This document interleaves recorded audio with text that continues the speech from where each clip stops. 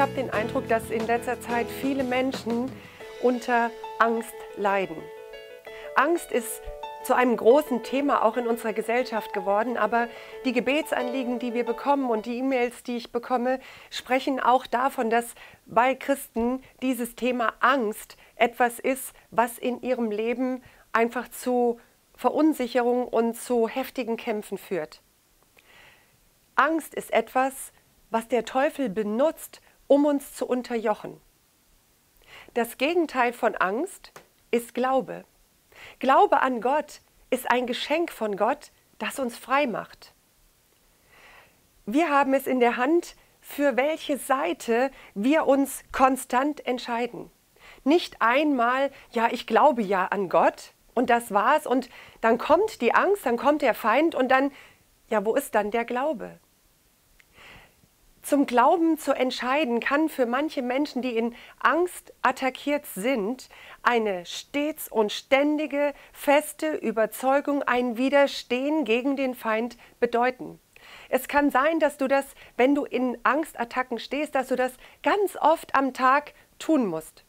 Ich möchte dir einige Strategien gegen Angst mitgeben heute. Das erste ist, sei entschlossen, dem Feind keinen Raum, kein Feld in deinem Leben zu, zu überlassen. Sei entschlossen, ihm zu widerstehen. In der Bibel heißt es, widersteht dem Teufel, so flieht er von euch. Sei entschlossen. Widersetze dich seinen Attacken. Gerade in den Gefühlen mit Angst ist es sehr wichtig, einen festen Stand einzunehmen und zu widerstehen. Das Widerstehen kann auch bedeuten, dass du, wenn diese negativen Gedanken kommen, dass du sagen musst, stopp, bis hierhin und nicht weiter. Dass du aktiv dich widersetzen musst. Und dann mach es zu deinem ersten Anliegen, im Glauben an Gott zu wachsen. Wie kannst du das machen, im Glauben wachsen? Wir wachsen im Glauben, indem wir in einer ständigen Verbindung mit Jesus sind dass wir mit dem Heiligen Geist in einem ständigen Gespräch sind, dass wir uns mit seinem Wort füllen. Mit dem Wort Gottes zu füllen, schafft eine Konsistenz, so würde ich es mal sagen, in uns, dass wir dem Feind keinen Raum mehr lassen. Wenn unser Raum erfüllt ist vom Wort Gottes, von seinen Verheißungen, von dem, was er uns versprochen hat, von dem Glauben an ihn, dann ist kein Raum mehr für diese feindlichen Attacken. Widerstehe dem Feind und wachse im Glauben. Lass das zu erstem Anliegen werden, zu einem Herzensanliegen, im Glauben zu wachsen. Fülle dich mit Predigten, die du über ähm, CDs, über Kassetten, über ähm, egal was dir runterlädst und immer wieder anhörst. Das baut deinen Glauben auf und es ist kein Raum mehr für negative Dinge. Gottes Wort will dich unterrichten in den Wegen des Glaubens.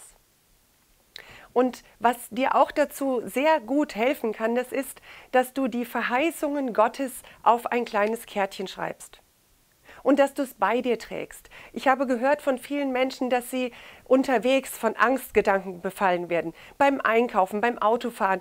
Menschen, die sich nicht mehr raustrauen, weil sie so in Angst äh, zurückgehalten werden und gefangen genommen werden und keinen Schritt mehr vor die Haustür machen. Termine absagen, weil die Angst ist so dominant im Moment. Du kannst Gottes Wort mit dir tragen.